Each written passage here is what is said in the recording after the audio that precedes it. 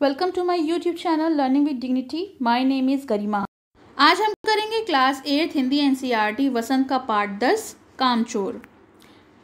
बड़ी देर वाद विवाद के बाद ये तय हुआ कि सचमुच नौकरों को निकाल दिया जाए। आखिर ये मोटे मोटे किस काम के हैं? यहाँ मोटे मोटे की बात हो रही है बच्चों की, क्योंकि ये बच्चे जो हैं, वो बिल्कुल भी काम नहीं करते। यहाँ तक कि हिलकर पानी भी नहीं पीते। इन्हें अपना काम खुद कराने की आदत होनी चाहिए और आखिरी में कहा जाता है, काम चोर कहीं के। तुम लोग कुछ नहीं, इतने सारे हो और सारा दिन ऊधम मचाने के सिवा कुछ नहीं करते। और सचमुच, हमें ख्याल आया कि हम आखिर काम क्यों नहीं करते। हिलकर पानी तक भी नहीं पीते। पानी पीने में हमारा क्या खर्च हो जाता है? इसलिए हमने तुरंत हिलकर उठे और पानी पीना शुरू किया। हिलने में धक्के भी लग जाते हैं। और हम किसी के दबैल तो हैं नहीं। दबैल यानी दबने वाले। नहीं तो कोई हमें धक्का दे दे और हम सह जाएँ? ऐसा कैसे हो सकता है? लीजिए, पानी के मटकों के साथ ही घमासान युद्ध शुरू हो गया। सुराइयाँ भी लुढ़की और मटके भी। और इस तरीके से हमारे कपड़े भीगे सो अलग। यानी यहाँ पर भी सब तहस नहस कर दिया गया। कोई भी काम बच्चों ने सही तरीके से नहीं किया। यह भला क्या काम करेंगे? अम्मा ने निश्चय किया। करेंगे कैसे नहीं? देखो जी, जो काम नहीं करेगा, उसे रात का खाना हरगिज़ नहीं मिलेगा। समझे? यह लीजिए। बिल्कुल शाही फरमान जारी हो गया। शाही फरमान का मतलब राजा की आज्ञा, यानी माँ ने आदेश दे दिया कि अगर तुम लोग काम नहीं करोगे तो तुम लोगों को रात का भोजन नहीं मिलेगा। हम काम करने को तैयार हो गए। काम बताया जाए और हमने दुहाई दी। क्योंकि रात को तो हमें भूख लगती, इसलिए हम काम करने को तैयार हो गए। बहुत से काम हैं जो तुम कर सकते हो। मिसाल के लिए, ये दरी कितनी मैली है, आँगन में कितना कूड़ा पड़ा है, पेड़ों को पानी देना है, और भाई मुफ़्त में काम नहीं करवाया जाएगा। आप सबको तनख्वाह, यानी सबको पैसे मिलेंगे। अब्बा मियाँ ने कुछ काम बताए और दूसरे कामों का हवाला भी दिया। माली को तनख्वाह मिलती है। अगर सारे बच्चे मिलकर पौधों में पानी डालें तो उन्हें भी मिलेगी। इस पर अम्मा बोली हैं, खुदा के लिए घर में बाढ़ आ जाएगी। अम्मा ने याचना की। याचना यानी विनती की कि इन्हें ये काम तो बिल्कुल ना दिया जाए, ये लोग काम बिगाड़ देंगे। फिर भी तनख्वाह के सपने देखते हुए हम लोग तो काम करने के लिए तुल गए। हम लोग मान गए कि आज तो हम काम करके ही रहेंगे। एक दिन फर्शी पर, यानी फर्शी होती है ज़मीन। एक दिन फर्शी दरी पर बहुत से बच्चे जुट गए और चारों ओर से कोने पकड़ के झटकना शुरू कर दिया। दरी में धूल भरी हुई थी और बच्चों ने सारे कोने पकड़कर उसकी धूल झाड़ना शुरू कर दी। दो चार ने लकड़ियों से लेकर धुआंधार पिटाई शुरू कर दी। दरी भारी होती है, इसलिए लकड़ियों से कूट कूट कर धूल को निकाला जाने लगा। सारा घर धूल से भर गया। खांसते खांसते बेदम हो गया। यानी धूल से सबको खांसी आने लगी। सारी धूल दरी पर जो थी, वो फर्श पर भी थी और अब तो सबके सर पर जम गई थी। यानी उन लोगों ने इतनी ज़्यादा पटक दी थी कि धूल उड़कर सबके सर पर जा जमी थी। नाकों और आँखों में भी घुस गई थी। अब सारे लोगों का हाल जो था, वो बुरा हो गया था। हम लोगों को तुरंत आँगन में निकाल दिया गया। वहाँ हम लोगों ने फ़ौरन झाड़ू देने का फैसला किया। अब हम लोगों ने सोचा कि चलो गंदगी फैला दी है तो झाड़ू ही लगा दी जाए।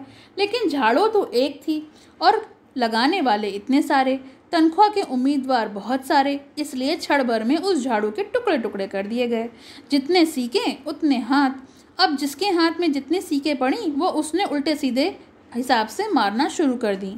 अम्मा ने सिर पीट लिया। भाई, ये बुज़ुर्ग काम करने दें तो इंसान काम करें। क्योंकि लोगों ने मना करा कि बच्चों से कि ये आपका काम नहीं है, भैया रहने दें, हम खुद ही कर लेंगे। लेकिन उन्हें तो अब तनख्वाह चाहिए थी, इसलिए हर कोई चाहता था कि हमें कोई काम मिले और हम काम करें। काम करें तो तनख्वाह मिलेगी। जब ज़रा ज़रा सी बात पर टोकने लगे तो बस हो चुका काम। अब उन्हें यह भी बुरा लग रहा था कि बड़े हमें टोके भी नहीं। असल में झाड़ू देने से पहले ज़रा ज़रा सा पानी छिड़क लेना चाहिए। तो बच्चों को लगा कि मान लो थोड़ा थोड़ा पानी छिड़क लेंगे तो झाड़ू लगाना आसान हो जाएगा। बस ये ख्याल आते ही तुरंत दरी पर पानी छिड़क दिया गया। एक तो वैसे ही वो धूल से अटी, यानी भरी हुई थी। पानी पड़ते ही सारी धूल कीचड़ बन गई। सब आँगन से निकाल दिए गए। तय हुआ पेड़ों को पानी दिया जाए। बस सारे घर की बाल्टियों को लेकर लोटे, तसले, भगोने, पतीले, जो मिला उसे लूट लिया गया। और जिन चीज़ों से भी वो पानी डाल सकते थे, वो उन्होंने वहाँ से लूट ली। लूट ली यानी वहाँ से उठा ली। यहाँ तक कि डोंगे, कटोरे और गिलास भी नहीं छोड़े। अब सब लोग नल पर टूट पड़े। यहाँ भी घमासान मची कि क्या मजाल कि एक बूंद पानी किसी के बर्तन में आ जाए। ठुसम ठास, किसी बाल्टी पर पतीला और पतीले पर लोटा, भगोना और डोंगे, बस धक्का मुक्की चल रही थी। पहले एक दूसरे को धक्का लगा, उसके बाद कोहनियों से और उसके बाद बर्तनों से लड़ाई झगड़ा शुरू हो गया। फ़ौरन बड़े भाइयों, बहनों, मामुओं और दमदार मौसियों, यहाँ तक कि फूफियों की कमुक, कुमुक होती है एक फ़ौज की टुकड़ी भेजी गई। यानी सब बड़े बड़े लोगों को भेजा गया कि बच्चों को अलग करो। फौज मैदान में हथियार फेंक कर पीट, पीठ दिखा दी गई और वहाँ पर भी अब सबने अपने अपने हथियार छोड़ दिए और सबको अलग कर दिया गया। इस धीगा मस्ती में कुछ बच्चे कीचड़ से लथपथ हो गए। जिन्हें नहलाकर कपड़े बदलवाने के लिए नौकरों की वर्तमान संख्या काफ़ी नहीं थी। धीगा मुश्ती यानी जो धक्का मुक्की हुई थी, उसमें कीचड़ से लथपथ हो गए थे बच्चे और इतने ज़्यादा गंदे हो गए थे कि नौकरों से कहना पड़ा कि भाई इन्हें नहला धुला के सही करो। लेकिन उस समय जितनी भी संख्या थी नौकरों की, वो कम पड़ गई। इसी कारण पास के बंगलों से नौकरों को बुलवाया गया। और प्रति बच्चा, यानी हर बच्चे के लिए चार आना, यानी पच्चीस पैसे देने का हिसाब लगाया गया। और फिर कहा गया कि इन्हें नहला दो। हम लोग कायल हो गए। सचमुच, यह सफ़ाई का काम हमारे बस की बात नहीं, ना पेड़ों की देखभाल हमसे हो सकती थी। बच्चों ने ये तय कर लिया कि सफ़ाई का काम या पेड़ों में देखभाल करने का काम हमारा नहीं है। तो फिर कम से कम मुर्गियों को ही बंद कर दें। जो मुर्गियाँ बाहर हैं, उनको हम दड़बे में ले जाएँ। दड़बा होता है जहाँ मुर्गियों को रखा जाता है। बस शाम को बाँस छड़ी हाथ में पकड़ी और मुर्गियों को हाँकने लगे। चल दड़बे चल दड़बे। यानी, अब चलो अपने घर के अंदर चलो। पर साहब, मुर्गियों को भी हमारे विरुद्ध किसी ने भड़का रखा था। ऊट पटांग से इधर उधर कूदने लगी। दो मुर्गियाँ खीर के प्याले में, जिन पर आया चांदी का वर्क लगा रही थी, दौड़ती फड़फड़ाती हुई निकल गई। दो मुर्गियाँ खीर के प्यालों में गिरी तो खीर भी जो थी, वो सब गिर गई थी। तूफ़ान गुजरने के बाद पता चला कि प्याले खाली हैं। सारी खीर दीदी की कामदानी दुपट्टे पर जा गिरी थी। उनका कामदानी दुपट्टा जो था, वो खराब हो गया और थोड़ा सा उनके सिर पर भी चली गई। एक बड़ा सा मुर्गा अम्मा के खुले हुए पानदान में कूद पड़ा। कत्थे छूने से लुथड़े और पंचे पे सान कर वो नानी की सफ़ेद दूध जैसी चादर पर छापे मारते हुए निकल गया। मुर्गे को क्या पता कि सफ़ेद चादर पे क्या होगा, इसलिए उसके भी पैर जो थे कत्थे चूने में सन गए और फिर वो चादरों पे छापे मारता हुआ वहाँ से चला गया। एक मुर्गी दाल की पतीली में छपाक मारकर भागी। यानी जो दाल जिस बर्तन में पक रही थी, उसमें गिरी और सीधे जाकर मोरी में, मोरी होती है नाली, उसमें तेज़ी से जाकर फिसल गई, जिससे सारा का सारा कीचड़ जो था, वो मौसी के मुँह पर आ पड़ा। इधर सारी मुर्गियाँ बेनकेल का ऊँट बनी चारों तरफ़ दौड़ रही थीं। बेनकेल होता है जिनके, जिन पशुओं के नाक में नकेल लगाई जाती है, नाक में पहनाई जाने वाली रस्सी होती है, और जब उनके नकेल नहीं लगी होती है तो वो बेनकेल होती हैं और वो इधर उधर अपने मर्ज़ी से घूम रही होती हैं। एक भी दड़बे में जाने को तैयार नहीं थी। दड़बा होता है, मैंने अभी आपको बताया, जहाँ पर मुर्गियों को रखा जाता है। मुर्गियों का जो घर होता है, उसे हम दड़बा कहते हैं। इधर किसी को सूझा यानी कुछ बच्चे जो दूसरी तरफ़ थे, उन्हें सूझा कि भेड़ आई हुई हैं। भेड़ें जिनसे हम ऊन निकालते हैं, उन्हें हम भेड़ें कहते हैं। तो लाओ हाथों हाथ, उन्हीं को दाना खिला दिया जाए। दिन भर की भूखी भेड़ें सूप को देखकर सबकी सब सूप की तरफ़ झपटी। लष्टम पष्टम तख्तों पर चढ़ गईं, पर भेड़ चाल मशहूर है। आपने सुना होगा कि भेड़ चाल में लोग एक दूसरे के पीछे चलने लगते हैं, बगैर सोचे समझे। उनकी नज़र तो बस दाने पर जमी हुई थी। पलंग, पलंगों को फांगते, यानी पलंग पे फलांग रही थी, बर्तन लुढ़का रही थी और इधर उधर भाग रही थी। तख्त पर बानी दीदी का दुपट्टा फैला हुआ था, जिसके ऊपर गोखरी, चंपा और सलमा सितारा रखकर बड़ी दीदी मुगलानी बुआ को कुछ बता रही थी। यानी जो लोग काम कर रहे थे दुपट्टे पर, सजा रहे थे उसे, भेड़ें बहुत निसंकोच, उसको रौंदती हुई वहाँ से दौड़ गईं और सब उन्होंने नुकसान कर दिया। जब तूफ़ान गुजर चुका था तो ऐसा लगा जैसे जर्मनी की सेना टैंकों और बमबारों सहित उधर से छापा मारकर गुजर रही हों। जहाँ जहाँ से सूप गुजरा, भेड़, शिकारी, कुत्तों की तरह गंद सूंघती हुई हमला करती निकलती चली जा रही थी। हजमन माँ एक पलंग पर दुपट्टे से मुँह ढाके सो रही थी। उन पर से जो भेड़ें दौड़ी तो ना जाने सपने में किन महलों की सैर कर रही थीं। दुपट्टे में उलझी हुई बोली, मारो मारो, छोड़ो नहीं, चीखने लगी। इतने में भेड़ें सूप को भूलकर तरकारी वाली की टोकरी पर टूट पड़ी। वह दालन में बैठी। दालन होता है आँगन। दालन में बैठी मटर की फलियाँ तोड़कर रसोइयों को दे रही थीं। यानी जो सब्ज़ी वाली आई थी, वो मटर तोल रही थी अपने तराजू में और वो रसोइये को दे रही थी, लेकिन वहाँ पर भी भेड़ों ने उनके नाक में दम कर दिया। वह अपनी तरकारी के बचाव करने के लिए सीना तान कर उठ गई। आपने कभी भेड़ों को मारा होगा? तो अच्छी तरह से देखा होगा कि ऐसा लगता है कि रुई के तकिए को कूट रहे हों। क्योंकि भेड़ों को चोट तो लगती ही नहीं। उनके शरीर पर इतनी मोटी चर्बी होती है ऊन की कि उनको चोट नहीं लगती। बिल्कुल यही समझकर आप उससे मज़ाक कर रहे हैं। यह आप पर चढ़ बैठेंगी। थोड़ी सी देर ही भेड़ों की तरकारी छिलकों समेत पेट के अंदर चली गई। यानी भेड़ों ने सारी की सारी सब्ज़ी जो थी, वो खा ली थी। इधर ये प्रलय मची थी, उधर दूसरे बच्चे भी लापरवाह नहीं थे। इतनी बड़ी फौज थी, जिसे रात को खाना न मिलने की धमकी मिल चुकी थी। सारे के सारे बच्चे जो थे, वो परेशान थे कि अगर हम काम नहीं करेंगे तो हमें रात का खाना नहीं मिलेगा। वे चार भैंसों के दूध दूने में जुट गए। धुली बेधुली बाल्टी उठाकर ले आए और आठ हाथ चार थनों पर पिल पड़े। यानी जो चार भैंसें थीं, उनके जो आठ हाथ मतलब सब बच्चों के दो दो हाथ थे, और उन्होंने दूध दूना शुरू किया। भैंस एकदम जैसे चारों पैर जोड़कर बैठी और बाल्टी को लात मारकर दूर जा खड़ी हुई। भैंस ने भी तय कर लिया था कि आज इन्हें दूध नहीं दूने देंगे। तय हुआ कि भैंस की जो अगाड़ी पिछाड़ी है, उसे बाँध दिया जाए। फिर तो काबू कर लिया जाएगा और दूध दू लिया जाएगा। बस झूले की रस्सी से उतार कर भैंसों को बाँध दिया गया। पिछले दो पैर जो थे चाचा जी की चारपाई से बाँध दिए गए और अगले दो पैरों को बांधने की कोशिश जारी थी, लेकिन भैंस जो थी वो चौकन्नी हो गई, उसको समझ में आ गया। छूट कर जो भागी तो चाचा जी समझे शायद वो कोई सपना देख रहे हैं। फिर जब चारपाई पानी के ड्रम से टकराई तो पानी छलक कर उनके मुँह पर गिरा तो उनको समझ में आया कि आंधी तूफ़ान में फंस गए हैं। साथ में भूचाल भी आया हुआ है। फिर जल्दी ही से उन्हें असली बात पता चल गई कि ये कोई आंधी तूफ़ान या फिर कोई सपना नहीं हकीकत है।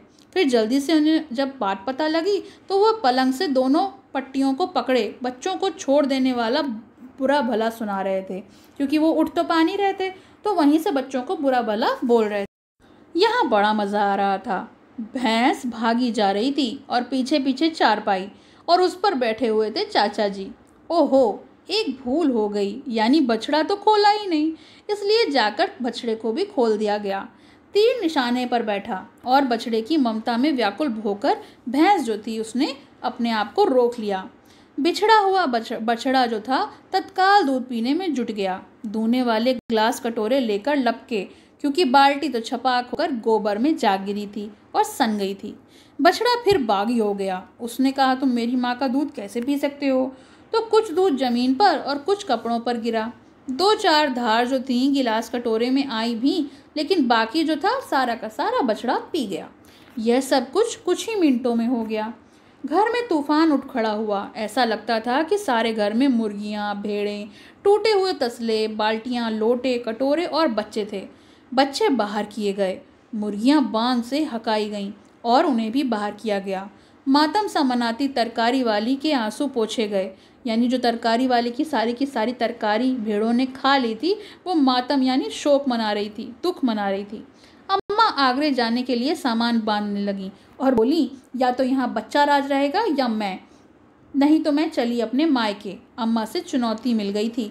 अब अब्बा बेचारे क्या करते? उन्होंने सबको कतार में यानी लाइन से खड़ा किया और पूरी बटालियन यानी पूरी की पूरी जो फौज थी, उसको कोर्ट मार्शल कर दिया। बटालियन होती है पलटन और कोर्ट मार्शल होता है फौजी अदालत में सज़ा जो सुना दी जाती है, उसे कहा जाता है कोर्ट मार्शल। अगर किसी बच्चे ने घर की किसी भी चीज़ को हाथ लगाया तो बस रात का खाना बंद हो जाएगा। ये लीजिए, इन्हें किसी करवट शांति नहीं। हम लोगों ने भी निश्चय कर लिया कि अब चाहे कुछ भी हो जाए, अब तो हम लोग हिलकर पानी भी नहीं पिए। कहानी तो बहुत ही मज़ेदार थी। चलिए इसके प्रश्न उत्तर देख लेते हैं। कहानी से कहानी में मोटे मोटे किस काम के हैं किन के बारे में और क्यों कहा गया है? तो उत्तर है, कहानी में मोटे मोटे किस काम के हैं, ये बात बच्चों के बारे में कही गई है।